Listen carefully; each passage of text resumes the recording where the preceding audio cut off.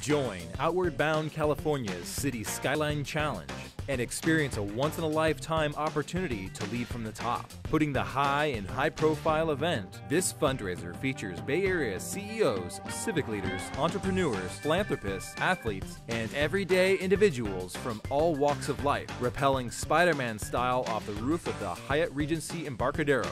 23 stories down in front of throngs of media, hundreds of thousands of cheering onlookers, and an online audience of millions. This only in San Francisco event raises scholarship funds for deserving underserved students to experience Outward Bound California's life changing leadership education programs and develop resiliency, courage, and teamwork in the face of profound challenge. It's easy to take part. Sign up to Rappel on Thursday, March 17th or Friday, March 18th. The Rappel only takes an hour of your time and you'll be greeted to a block party when you finish.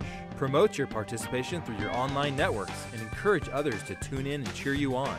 Visit cityskylinechallenge.org to sign up to learn more and tell your friends, family, and colleagues to join you in leading from the top to change students' lives.